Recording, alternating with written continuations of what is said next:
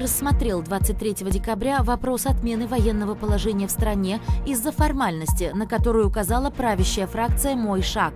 Об этом сообщил секретарь оппозиционной фракции партии «Процветающая Армения» Арман Абавян. Накануне депутат от партии «Процветающая Армения» Ивета Танаян сообщила на митинге оппозиции, что фракции «Процветающая Армения» и «Светлая Армения» инициировали проведение 23 декабря внеочередного заседания парламента для отмены военного положения.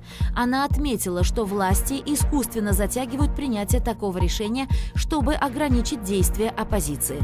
Отмена военного положения позволила бы оппозиции инициировать процесс отставки премьера Никола Пашиняна. Во время военного положения это запрещено.